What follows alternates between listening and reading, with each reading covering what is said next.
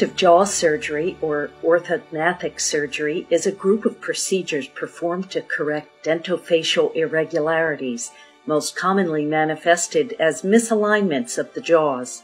These deformities not only cause malocclusion or bad bite, but also create problems in the temporomandibular joint, the TMJ, and the airway, resulting in difficulties chewing, swallowing, speaking, and breathing. While the surgery is performed to correct functional problems, patient's appearance may be dramatically improved as a result.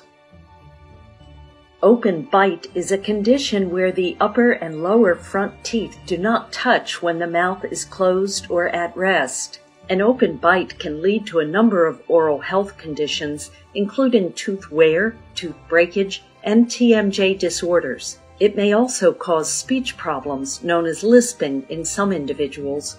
Open bite surgery involves removing some of the bone of the upper jaw to move it to a new position. Once the jaws are aligned, plates and screws are used to secure the bones in place. Protruding lower jaw is corrected in a procedure called mandibular setback surgery. The tooth-bearing portion of the lower jaw is separated from its base and moved backward for proper alignment.